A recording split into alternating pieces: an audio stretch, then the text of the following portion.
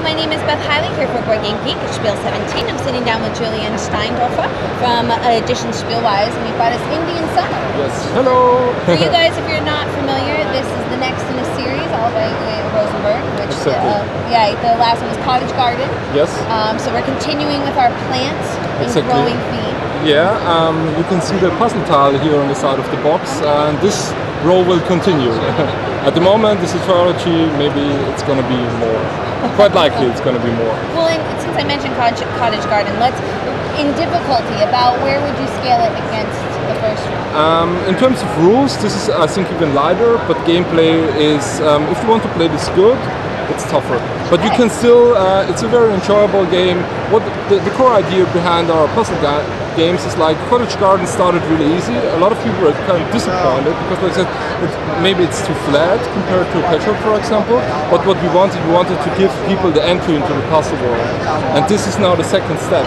And um, what's sometimes hard to understand, especially for example on the German market for a lot of people, is that these games are about relaxing. Cottage Garden, uh, especially, and this is a little bit tougher and sometimes even a bit, little bit mean. hey, well, take us in. Yeah, okay. So um, one of the most important things to understand is in this game is like you collecting these treasures here. They have like two sides. Um, an icon side and an illustrated side. Um, you collect them um, through placing puzzle tiles. These wonderful puzzle tiles with a hole. And it's very important to understand these are not points. These are just vehicles to get faster to the end of the game. Because what we try to accomplish is we try to fill our wood floor. All right, so we've got this. What's Yeah. this? This is a wonderful wooden floor because we're taking a walk in wonderful New England or any other beautiful woods out there. And it's going to be autumn. We enjoy our Sunday together with our family, and the leaves are falling down and they're slowly covering the floor. And so I take a puzzle tile out of my path and I place it somewhere on my board. Are few rules, we already maybe know them from Cottage Garden, so this is not allowed. Don't stack uh, puzzle tiles on other puzzle tiles. Uh, don't move them throughout the game. Um, a very important thing is um, if you place a puzzle tile and the hole covers one of these uh, treasure marked on the board, I would collect from the um, common stor- storage one of these um, treasures and put it over it. So then the next player's turn it is. I again choose a puzzle tile from my path, place it here, Now, no line up there, so no treasure. exactly. Um, I keep on puzzling, I do this, I get a mushroom, this makes me very happy. And now I maybe finish this um, sector here, and as it's now covered, I have to um, collect these um, mushroom and berry, whoops, and sorry, and put them in my storage. Hey! This is like the main action is just to place um, one of these uh, leaf tiles. Uh, alternatively, um, you could also place one of the squirrels. I've heard squirrels are the new cats. so we put five different of them inside the game. yeah, we love animals, furry animals. Um, yeah, so I've now these, uh, these treasure tokens and I can use them for special actions or to substitute my main action. So for example, with the berry, I could collect new puzzle tiles out of the uh, common All path. right, and now that's a good segue to say let's look in the middle. Exactly, and what we try really to do is like to um, to hint certain connections. So what we, um, for example, this is a berry bush. We're collecting berries. You know, this is the berry. Here you go. Um, so I would like, if I play a berry, I would refill my path.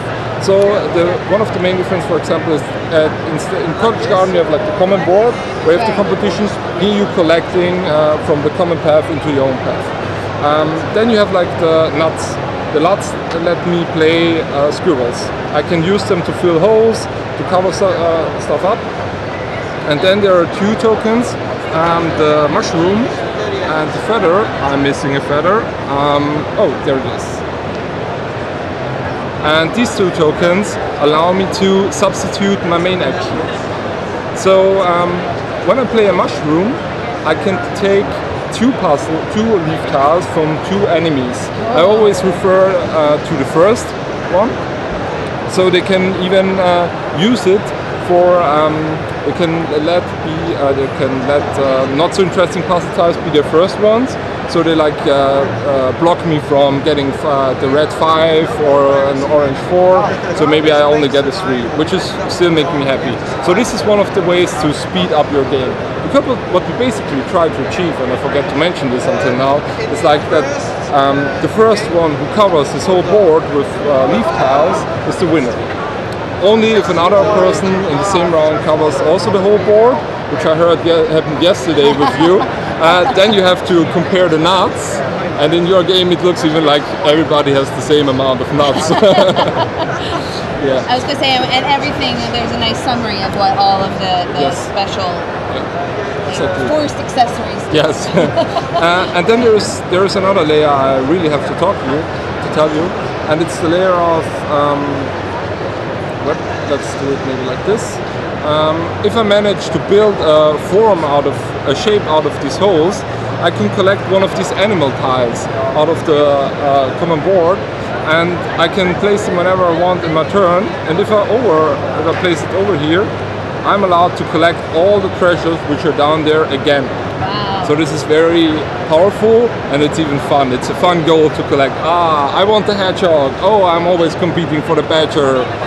Yes. Now, is there any difference? You sort of have a stylized version, but we also have an art version on Um, we, side. we, we care deeply about colorblindness and these issues, so we want to have a clear version which is uh, for players with not a good sight, but we also really care about artwork, as you can see. Like for us, the, the, the center of the puzzle trilogy is also like these are games where the themes support like relaxing. While Cottage Garden was about gardening, spending the Sunday together with your family in the garden, harvesting your uh, your flowers and stuff like that. This is about taking a walk. So this is really we want to take this relaxing, having fun to um, to the whole scene.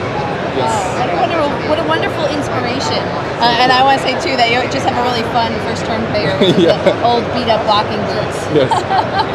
which is a staple in my household, sitting by the front door. Well, Maybe. Oh, I also have to sneak something in here, which is easily forgotten. This is our third game this year.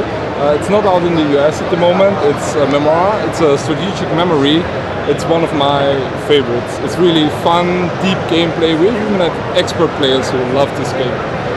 Well, I want to give some some final uh, kudos here to Indian Summer, which if you guys want to check that out, this is a Uwe Rosenberg game. It's the direct sequel to Cottage Garden, uh, being published by uh, uh, Edition Spielwiese. And Julian, thank you so much for letting this speak. Thank you for having me here.